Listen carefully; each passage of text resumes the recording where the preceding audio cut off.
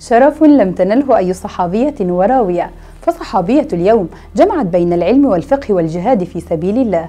وهذه الصحابية ذاقت مبكرا حلاوة الإيمان والجهاد في سبيل الله وقد ضربت بجهادها وعلمها وفقهها وبلاغتها أبرز الأمثال على أن الإسلام ارتقى بالمرأة ووضعها إلى جانب الرجل في شتى المجالات.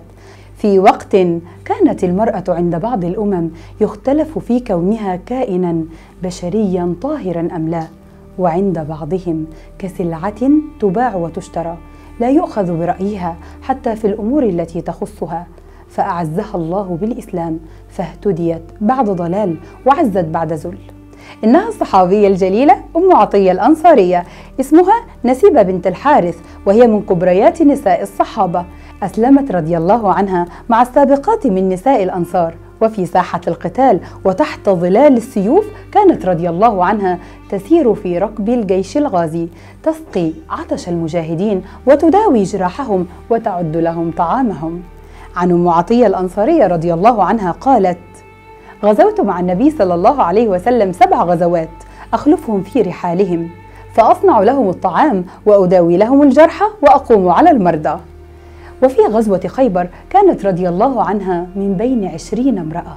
خرجن في الجهاد يبتغين الأجر والمثوبة من الله عز وجل. وقد كانت أم عطية رضي الله عنها تغسل من مات من نساء المسلمين في عهد رسول الله صلى الله عليه وسلم طلبا للمثوبة والأجر. وكانت فقيهة حافظة ولها أربعون حديثا عن النبي صلى الله عليه وسلم. تخيلوا امرأة تروي عن النبي صلى الله عليه وسلم أربعين حديثا ويروي عنها من الصحابة والتابعين الرجال وهي القائلة نهينا عن اتباع الجنائز ولم يعزم علينا. وقد انتقلت رضي الله عنها في آخر عمرها إلى البصرة وكان جماعة من الصحابة والتابعين يأخذون عنها غسل الميت. فاستفاد الناس من علمها وفقهها وعاشت رضي الله عنها إلى سنة سبعين هجريا. رحم الله الصحابية الجليلة أم عطية الأنصارية ورضي الله عنها وعن المسلمين والمسلمات. الله جل جلاله رب العالمين وفي ملكه تفرد.